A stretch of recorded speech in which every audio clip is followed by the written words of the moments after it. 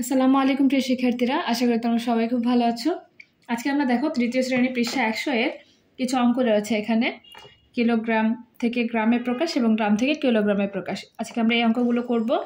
চলো, প্রথমে দেখো দুই নম্বরের নিচে প্রশ্নগুলো উত্তর দিয়ে থেকে। প্রথম অঙ্কটি হচ্ছে, সাত কিলোগ্রামকে গ্রামে প্রকাশ করি। তাহলে আমরা প্রথম অঙ্কটি করি।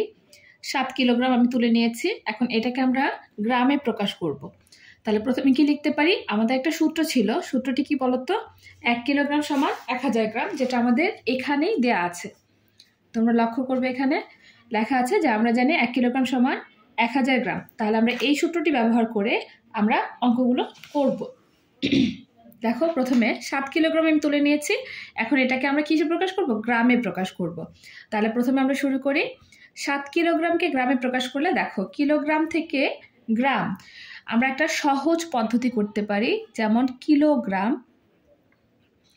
থেকে যখন আমরা গ্রাম মানে নিচের দিকে নামবো, তখন আমরা হচ্ছে গ্রামে যেহেতু এক কিলোগ্রাম সমান এক হাজার গ্রাম ছিল, তাই গ্রামের ঘরে আমি এক হাজার লিখে দিলাম যখন আমরা এদিক থেকে মানে উপর থেকে নিচের দিকে নামবো, তখন আমরা গুণ করব এবং যখন আমরা গ্রাম থেকে যদি কিলোগ্রাম, অর্থাৎ উপরের দিকে চলে যাই, তখন আমরা ভাগ করব।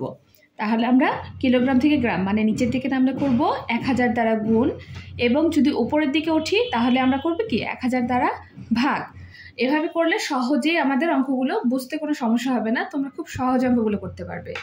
আচ্ছা তাহলে আমরা জানি যে এক কিলোগ্রাম সমান এক হাজার গ্রাম, তার মানে সাত কিলোগ্রাম, এটাকে যদি আমরা করি, যেহেতু নিচের দিকে যাচ্ছে, তাহলে আমরা কি করব? গুণ।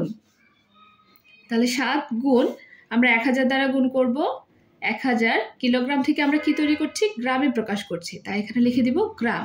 এখন এখানে আমরা সূত্র প্রয়োগ করব। যেই সূত্রটি আমি এতক্ষণ লিখলাম, সেই সূত্রটা আমরা এখন এখানে সাইড নোট করে লিখে দিব যে এক কিলোগ্রাম এক কিলোগ্রাম সমান কত? এক হাজার গ্রাম। এক কিলোগ্রাম সমান এক হাজার গ্রাম। যেই সূত্রটা আমি প্রয়োগ করলাম, সেই সূত্রটি আমি এখানে লিখে দিব। তাহলে লিখে দিলে দেখো এখন আমরা যদি গুণ করি, এটা খুব সহজে হয় সাত, এক হাজারের সাত হাজার। অথবা যাদের একটু কষ্ট হবে, তারা দেখো কীভাবে করতে পারি সহজভাবে। সাথে সাথে আমি একে গুণ করব। সাত একে কত হয়? সাত। আর আমাদের যে বাকি তিনটে শূন্য আছে, আমরা যখন গুণ করব, তখন এই শূন্যগুলো আমরা বসিয়ে দিব। তাহলে আমাদের কথা হচ্ছে? সাত হাজার গ্রাম। আমরা খুব সহজভাবে সাত কিলোগ্রাম থেকে গ্রামে প্রকাশ করে নিলাম। আচ্ছা পরের অঙ্কটি আমরা দেখি। দুই নম্বর অঙ্কে রয়েছে, চার কিলোগ্রাম আট গ্রাম। এই অঙ্কটিকেও আমাদেরকে গ্রামে প্রকাশ করতে বলেছে। তাহলে আমরা প্রথমে কিলোগ্রামটাকে, যেহেতু গ্রাম অলরেডি এটা করে দেওয়া আছে, তাহলে আমরা এখন কি করব? চার কিলোগ্রামকে গ্রামে প্রকাশ করব। তাহলে প্রথমে আমরা চার কিলোগ্রাম, যেহেতু কিলোগ্রাম থেকে গ্রামে আমরা বলেছিলাম, নিচের দিকে গেলে আমরা কি করব? গুণ। তাই আমরা এখানে কি করতে পারি? গুণ এক হাজার। গুণ এক হাজার। কিলোগ্রাম থেকে আমরা কি তৈরি করলাম? গ্রাম। এখন দেখো গ্রাম, বাকি অংশ যেটা আছে সেটা আমরা যোগ চিহ্ন দিয়ে লিখে দিব। আট গ্রাম। এখন আমরা যে সূত্রটা প্রয়োগ করলাম, সেই সূত্রটা যদি লিখে দিই, এক কিলোগ্রাম সমান এক হাজার গ্রাম। যদি তোমাদের কারোর এই সূত্রটা বুঝতে সমস্যা হয়, তাহলে দেখো, আমরা যে সূত্রটা মুখস্থ করেছিলাম, সেই সূত্রটা দিয়ে আমরা বুঝতে পারি যে এখানে গুণ হবে না কি ভাগ। কীভাবে বুঝব? যখন আমরা প্রথমে এক লিখব, তখন আমরা এখানে গুণ করে দিব। সূত্রটা আমরা যদি সঠিক মানে সোজাভাবে লিখি, যেমন এক কিলোগ্রাম এক হাজার গ্রাম, তাহলে আমরা করব গুণ। আর যদি আমি লিখতাম যে এক হাজার গ্রাম সমান এক কিলোগ্রাম মানে উল্টো দিতাম, এটা এই পাশে চলে আসতো, তখন আমরা করতাম ভাগ। আচ্ছা তারপরে আমরা করি, তাহলে চার এক হাজারে কত হচ্ছে? চার হাজার। আর গ্রাম লিখে দিলাম, বাকি অংশটা লিখে দিচ্ছি, যোগ আট গ্রাম। তাহলে এখন চার হাজারের সাথে যদি আমি আট যোগ করি মানে আটের সাথে শূন্য যোগ করলে কত হচ্ছে? আট। এখানে কোনো সংখ্যা নেই, তার মানে এখানে চারশো যা আছে আমি তাই বসিয়ে দিব। তাহলে আমাদের এখানে কত হলো? চার হাজার আট গ্রাম। আচ্ছা চলো আমরা এবার পরের অঙ্ক চলে যাই।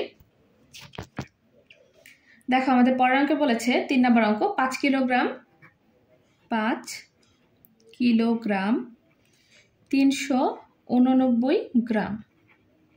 এটাকেও আমাদেরকে গ্রামে প্রকাশ করতে বলেছে। তাহলে আমরা সহজভাবে আগের অঙ্কের মতো করে ফেলি। কিলোগ্রাম থেকে গ্রাম, আমরা জানি যে আমরা এটা গুণ করব। তাহলে পাঁচ গুণ কত হবে? এক হাজার কিলোগ্রাম থেকে আমি গ্রাম করছি, তাই আমি এখানে গ্রাম লিখব এবং বাকি অংশটি আমি যোগ দিয়ে লিখে দিব, তিনশো উননব্বই গ্রাম।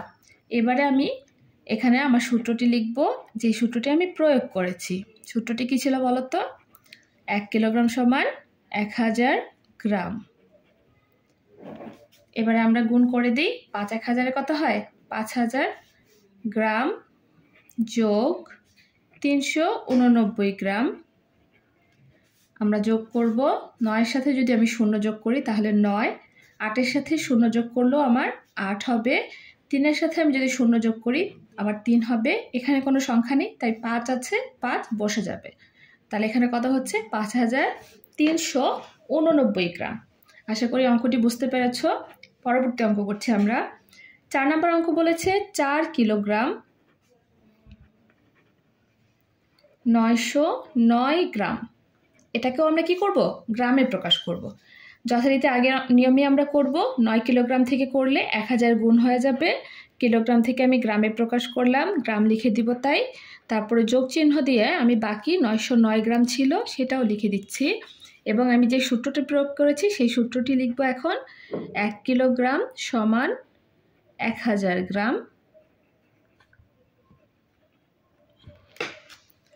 এবার নয় এক হাজারে কত হচ্ছে? নয় হাজার গ্রাম যোগ নয়শো নয় গ্রাম।